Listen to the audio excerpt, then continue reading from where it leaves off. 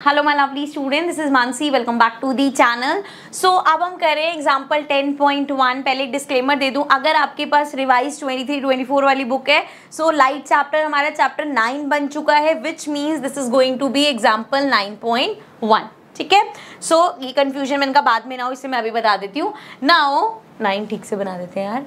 9.1 है ये example so now a convex mirror used for rear view of on an automobile has a radius of curvature of three metre क्या दे रखा है हमें? सी दे रखा है। कितना दे रखा है? थ्री मीटर्स आगे क्या बोला है? If a bus is located at five metre from this mirror find the position nature and size of the image अच्छा ये जो फाइव मीटर दे रखा है, ये हमें क्या दे रखा है? जो ऑब्जेक्ट हमारा बस ऑब्जेक्ट है। मिरर से कितनी दूरी पे है? फाइव मीटर की। मतलब ये हमें यू गिवन है। यू गिवन है फाइव मीटर। अब साइन कन्वेंशन पे अगर हम चले जाएँ सो हमने उसमें देखा था, कोई भी, जब भी आप ऑब्जेक्ट की लेंथ होगी, क्योंकि हमेशा ऑब्जेक्ट मिरर के लेफ़्ट साइड पे रखा जाता है विच मीन्स ये नेगेटिव होगी। चाहे कन्वेक्स हो, चाहे कनकेव हो, दोनों ही केसेस में ये हमारा यू हमेशा ही नेगेटिव होता है। ये हम पढ़ के आए हुए हैं। आगे अब सी दे रखा है। अगर हम यहाँ पे, पहली बात तो हमें अगर पोजीशन बतानी है नेचर बताना है साइज़ बताना है तो हमें क्या क्या चीज़ें चाहिए होंगी? मैग्निफिकेशन निकालना पड़ेगा, उसके लिए हमें वी निकालना पड़ेगा। मिरर फॉर्मूला पे अगर हम जाएँ तो हमने पढ़ा था one upon f equals to one upon u plus one upon v correct अब इस केस में हमारे पास यू तो है ना वी है ना एफ़ है, लेकिन c गिवन है. C से हम f निकाल सकते हैं. कैसे? सो so, आपको याद होगा जब हमने यहाँ पे मिरर पढ़ा था स्टार्टिंग में बिल्कुल c कैसे पढ़ा था हमने? C क्या होता है? ये जिस जे मिरर जिस फेयर का पार्ट है उसका सेंटर ये c होता है और c से लेके पोल तक का हमारा डिस्टेंस कितना होता था? रेडियस होता था.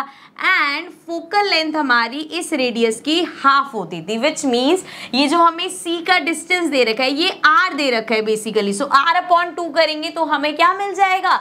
अपना ये डिस्टेंस मिल जाएगा। मतलब मुझे यहाँ पे फोकल लेंथ जो मेरा एफ़ होता है एफ़ निकालते थे ना एफ़ को हम बोलते थे आर अपॉन टू होता है, या फिर हम बोल सकते कर्वेचर का हाफ़ होता है। सो so, इसका हाफ़ करेंगे तो हमें एफ़ मिल जाएगा। सो so, यहाँ पे we can write f equals to हो जाएगा। सी के अपॉन में टू कर दो मतलब three upon two metre so यहाँ पे अब हमारे पास एफ़ भी आ गया एंड यू है। इधर से हम वी निकाल सकते हैं तो पहले वी निकालते हैं, इसको ऊपर कर देते हैं।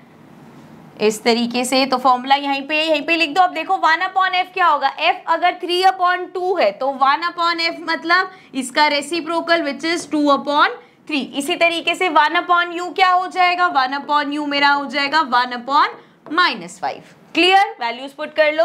वन अपॉन एफ़ मतलब two upon three equals to one upon u is one upon minus five then plus one upon v ये हमें फाइंड करना है। सो so, इसको इधर भेज देंगे माइनस के इधर जाके प्लस हो जाएगा तो ये हो गया two upon three plus one upon five equals to one upon v यहाँ पे एलसीएम लेंगे ये आ गया फिफ्टीन थ्री इंटू फाइव होगा मतलब टू इंटू फाइव करेंगे फाइव टू ज़र ten plus five into three मतलब ऊपर थ्री प्लस होगा equals to one upon v so one upon v मेरा आ जाएगा thirteen upon fifteen so one upon v आ गया हमारे पास thirteen upon fifteen which means यहाँ से अगर हम देखें तो हमारा वी क्या होगा? वन अपॉन वी है वी होगा मतलब इसका रेसिप्रोकल कर दो मतलब फिफ्टीन अपॉन थर्टीन ठीक है? वी की वैल्यू अगर पॉइंट में निकालनी है तो हम थर्टीन को डिवाइड कर देंगे फिफ्टीन से ये हो जाएगा थर्टीन वन ज़ा थर्टीन यहाँ पे बचा टू पॉइंट लगा देंगे, ये हो जाएगा twenty then thirteen into one करना पड़ेगा, फिर से ये हो गया थर्टीन देन इसको कर लो, ये हो जाएगा हमारे पास सेवन एंड यहाँ पे आ जाएगा